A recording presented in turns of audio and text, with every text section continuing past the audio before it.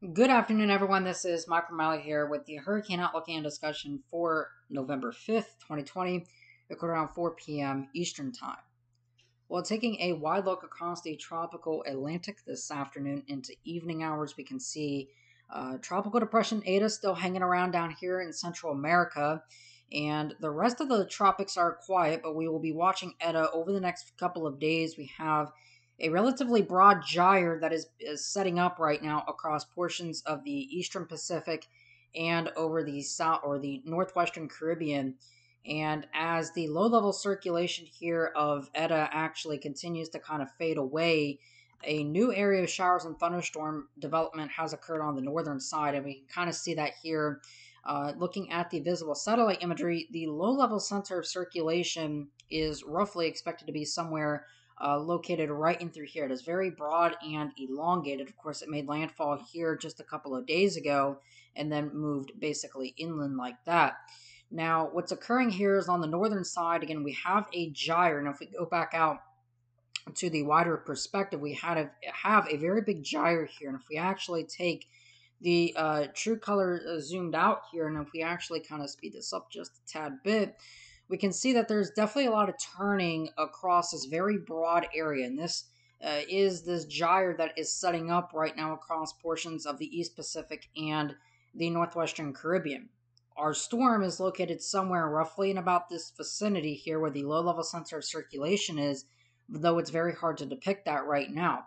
Eventually, this northern cluster here seems to be focusing energy, and this will likely bundle into a con- consolidated area of energy and will probably go on to be uh, Eta again, although, you know, it's relatively kind of different. You know, we'll see if it gets a new name or if this is indeed uh, Eta, but either way, we will likely be watching a storm that is down here in this vicinity uh, by Friday. So by tomorrow, we are likely to have a tropical storm uh, reemerging over the northwestern Caribbean and then potentially heading an impact in Cuba in the Isle of Youth. Now, with the with this being said, there will likely be tropical storm watches that will be issued in the next day or so, uh, as this is expected to be over Cuba by Sunday afternoon. By uh, noon Sunday, this is expected to be over Cuba. Now, there's a fairly wide margin here of possibilities because uh, at this time, you can see the Hurricane Center is forecasting a slowdown and then an eventual turn over Cuba, moving the center well away from Florida at this point. You can see the five day cone has shifted uh, to less of Florida. However, this really doesn't, this, this only depicts where the center is going to go. And as I'm going to show here, the impacts are going to occur well outside of the center of circulation here. Now, we can see a couple of things that are going to happen here. This is the GFS 500 millibar flow, the geopotential height, and the cyclonic vorticity at 18,400 feet in the atmosphere. And we'll move this forward to 7 o'clock this or this evening. We can see that there's a couple of things occurring. We talked about how yesterday there's going to be this trough of low pressure that's going to start to develop, cut off, and drift towards the south and east here. And this is starting to become more apparent today. We have a relatively uh, decent confidence uh, that this is going to happen. Now you can see this larger gyre that's still set up across the East Pacific and the Northwestern uh, Caribbean, and this is creating a large amount of disturbed weather. Now, if we go even forward with time, we can see that eventually by tomorrow, uh, this is 36 hours from now, we have this uh, cutoff flow that has now formed over Texas and uh, western Louisiana. Now, this is creating an influence with a relatively small influence layer right here, but this is weakened down this ridge of high pressure that is to the north right here that's going to be sliding uh, eastward with time. So we have a, a, high pressure area sliding eastward. This uh, area here is going to be drifting and meandering towards the south and east. At the very same time, we have fairly high confidence here that we do have a tropical storm, but you notice that it's not very well bundled in the 500 millibar layer. Now, if we jump back down here to the lower levels in the 850 vorticity, we can see a different story, but this is still rather loosely consolidated here. And this makes me really wonder if this will have some hybrids of a subtropical and tropical storms. So this may be subtropical at some point, but we expect this will probably be fully tropical. Uh, eventually, we can see here that eventually what starts to happen is this is going to start to get kind of swung around. We have, again, this upper level low uh, that has now kind of merged with uh, Eta right here. It's become very uh, broad and spread out. And this begins to try to rotate the storm towards the northwest here. It's going to swing it out towards the north and east and swing it back towards the north and west. Now, where this turn occurs is going to remain the biggest question mark here. And we can see that on the GFS forecast, this turn is much more towards the east uh, before turning towards the northwest before, uh, you know, other models such as the, uh, you know, ECMWF, the Euro, which takes it over here and bends it back much like that and then kind of does something like that. Now, this remains a possibility towards a, a, storm that is not indeed making a turn over Florida, but indeed making a turn over Cuba and does something much like that. Now, this is where the center is going to be. But if we put on the moisture field at this time, uh, this is by uh, late Saturday evening, or I'm sorry, late Sunday evening rather. We can see that the storm is sitting here off the Louisiana or off the Cuba and uh, Florida Straits area right now and sitting towards the south and east of Miami. Now we can see that our main steering flows right now. We got a big ridge of high pressure towards the north and this upper level low that is kind of curled in, forcing some of the dry air on the back side of this. Now, what you can see here though in the moisture field in green, all of this moisture is getting pumped in and rotating around.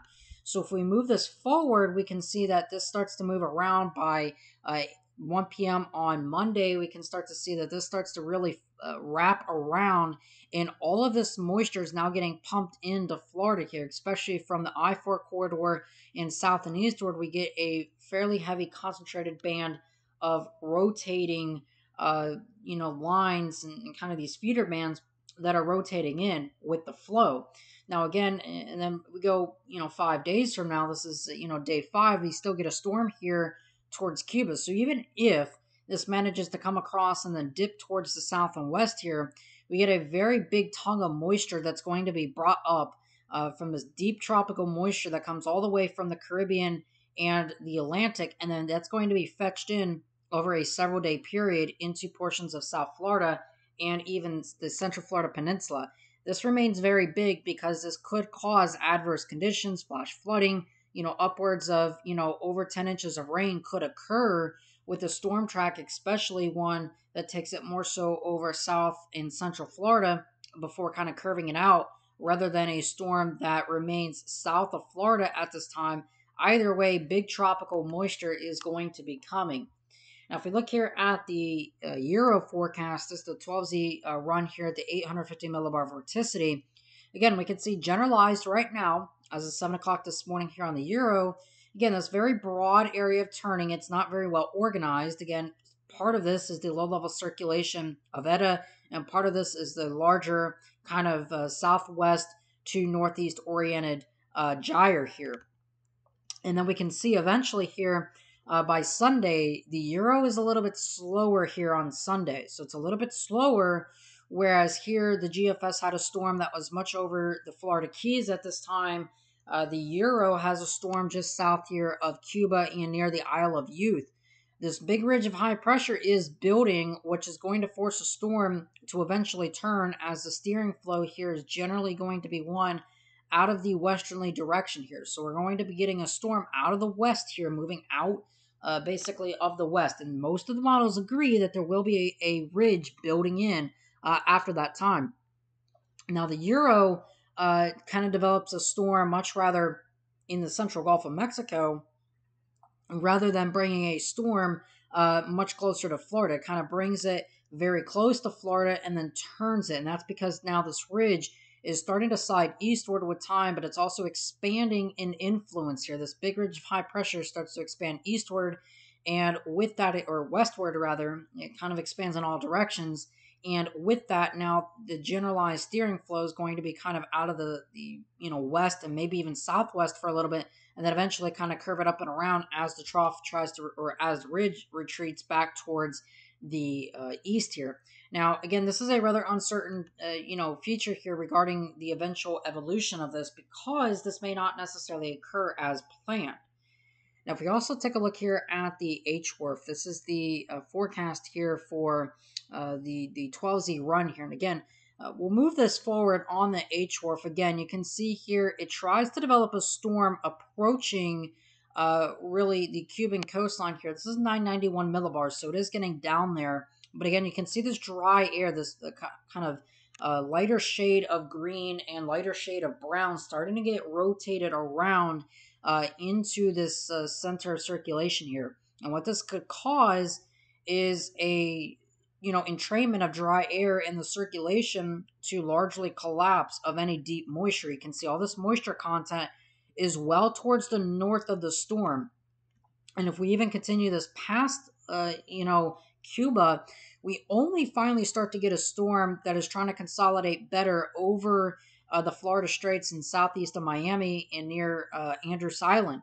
Now, again, this is a rather broad moisture field, and, and you can see that there's still not an equal amount of moisture on the southern side as compared to the northern side, which is bringing a copious amount of rainfall to even as far east as the Grand Bahama Island and uh, Marsh Harbor area was obviously devastated by Dorian last year.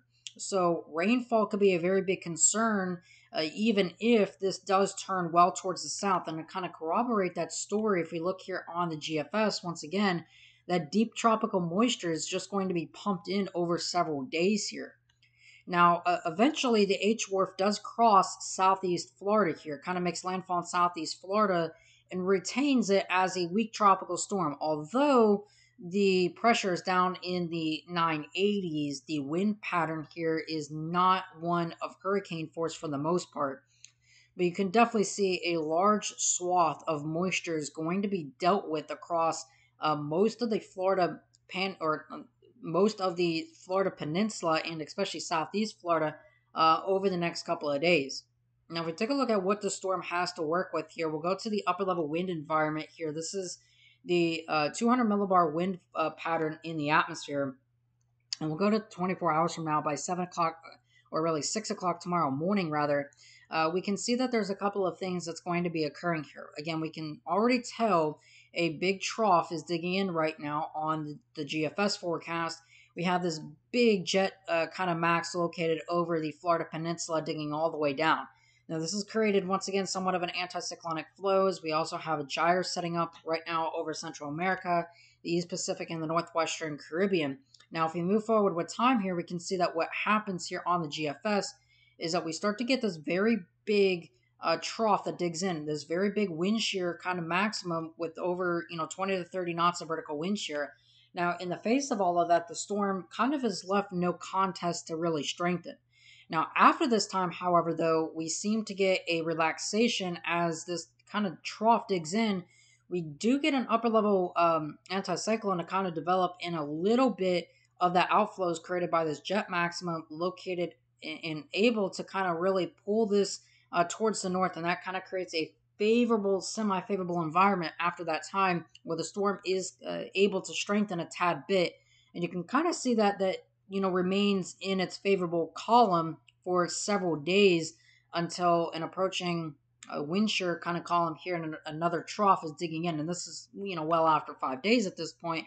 So it's not necessarily a high likelihood, but we can very clearly see that the pattern is going to be semi conducive for additional strengthening. Now, if you take a look at this here, this is the upper ocean heat content map valid as of yesterday. And again, just for reference here, anything really in the greens and upward uh, to these whites is fairly formidable upper ocean heat content, especially the red and white colors here. And we can very clearly see that one thing that we do have to kind of keep an eye on is where the storm is going to go because as you can see here, it is very likely that this will pass over a large swath of very high upper ocean heat content, especially near Cuba and the Isle of Youth region. And then after crossing Cuba, Florida, in, in the general vicinity of Florida, still has some very high upper ocean heat content. So, assuming uh, a track that kind of comes something like that, like the current Hurricane Center forecast has it, there'd be fairly formidable upper ocean heat content all the way until you get about here in the kind of the, the central Gulf of Mexico. Then after that time, these upper ocean heat content and sea surface temperatures start to go down because we've had cold fronts and multiple hurricanes in this region over the last you know several months, and obviously now the cold fronts that have been digging in. So the bottom line is, if you live in Cuba, obviously in the Isle of Youth, you need to be monitoring the progress of this as tropical storm watches will likely go up sometime tomorrow. After that point, in Florida, everywhere from the Florida Peninsula, really from the I 4 corridor southward to the Florida Keys, is going to deal with this in some way, shape, or form. Even if it is not a direct impact, this will be a large enough storm system with some extratropical, or excuse me, some subtropical characteristics more than likely uh, to prevent rapid intensification, but that will spread out the moisture field and will bring copious amounts of rainfall to portions of southeast Florida, especially Miami Dade County, etc., will have to deal with some flooding concerns as we progress forward with time. And then, especially here, if models like the HWRF and HMON start to play out, where this, you know, more nonetheless comes straight up the Florida Peninsula, we might have to deal with more of a threat, uh, you know, then for, you know, higher chances of wind, etc. But right now, your main concern is going to be gusty winds, obviously, squally conditions, flooding rainfall, not really worried about the storm surge problem, although, you know, an increase in swells and wave action will occur offshore, especially. And, you know, also the threat for isolated tornadoes, as you would be classified in that right front quadrant rotating around. So you could have some tornado problems as well down there in southeast Florida. All right. Well, that being said, hope you all have a great rest of your afternoon and evening. Of course, I am Mike Remaley. I will talk to you guys again some more tomorrow.